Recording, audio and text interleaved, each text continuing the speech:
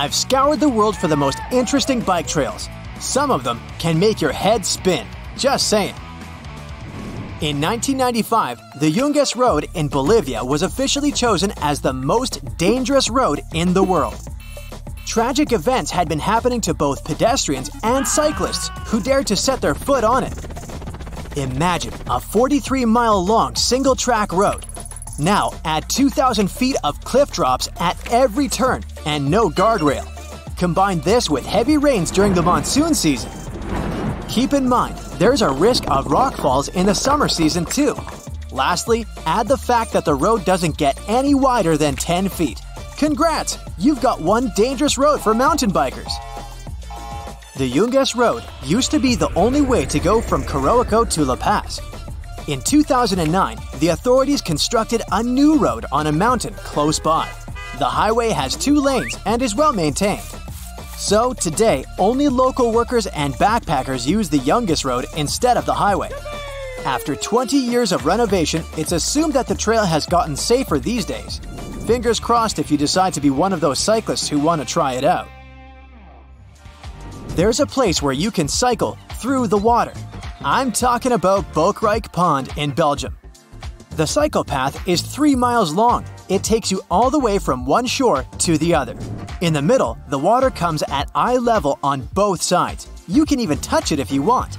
Plus, swans and some other animals accompany you on your journey. The track is 9 feet wide and open to walkers and joggers. The next one on my list is the White Line Trail.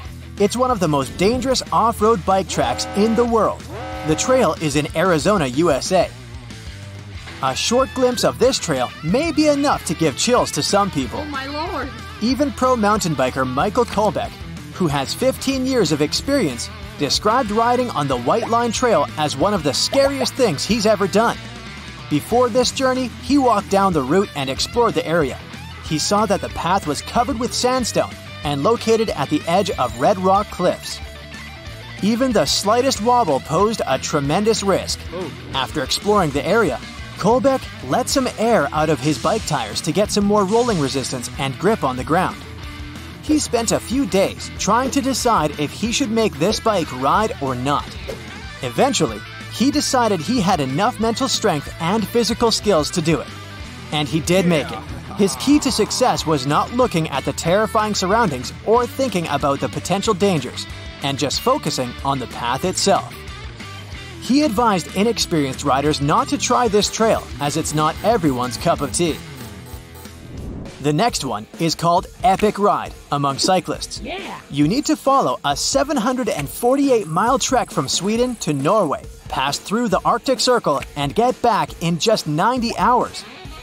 Midnight Sun Randonnée, a 754 mile cycling event, brought together 80 cyclists from 13 different countries in Umeå, Sweden.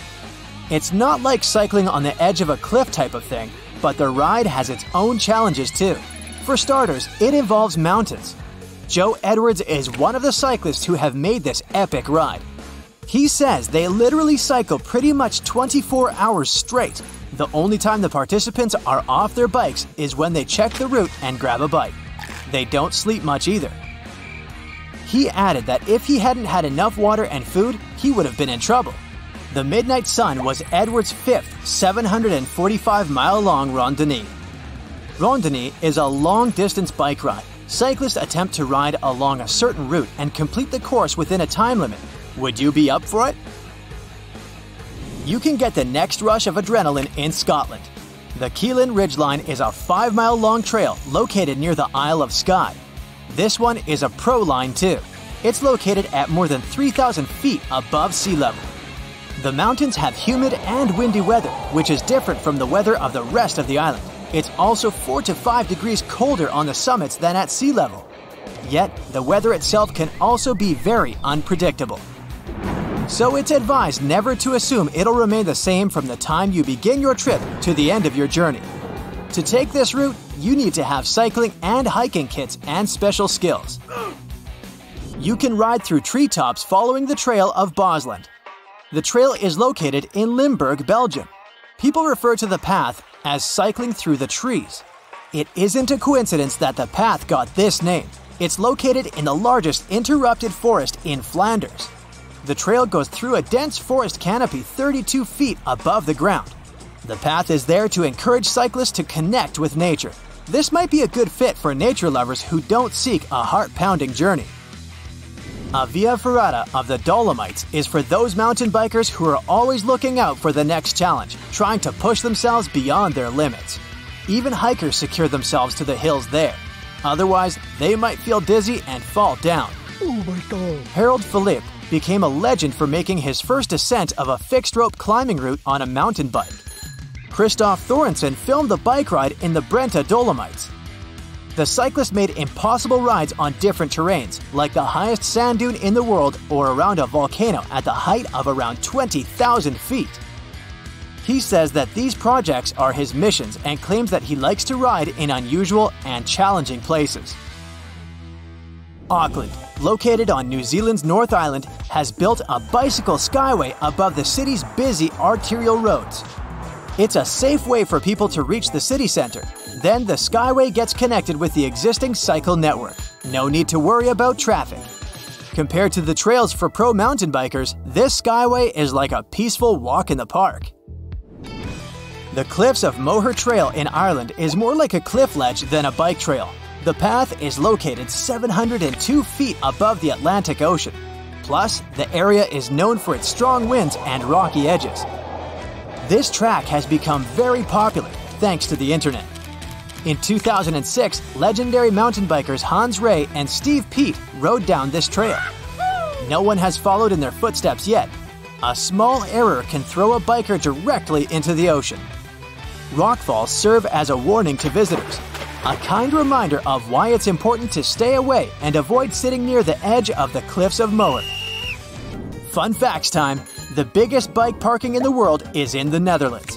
The bikes there remind me of hundreds of people in a concert hall or at an Olympic stadium. Cycling has become a way of life in the Netherlands. Bike theft is also very common, so all these bike owners need secure and convenient places to store their transport. In Utrecht, for instance, 43% of all trips are made by bike. So the city has built a parking lot with the capacity to store more than 12,500 bikes. It has indoor ramps for easy access. Plus, there's a digital system to direct riders to empty spaces. But imagine having to find your bike among all those different sized, colorful bikes. Oh my god. Oh, and did you know that the Netherlands is home to more bicycles than people? There are over 22 million bicycles and only 18 million residents. Nice. Comment below if you're adding these bike related places to your vacation or bucket list. That's it for today. So hey, if you pacified your curiosity, then give the video a like and share it with your friends. Or if you want more, just click on these videos and stay on the bright side.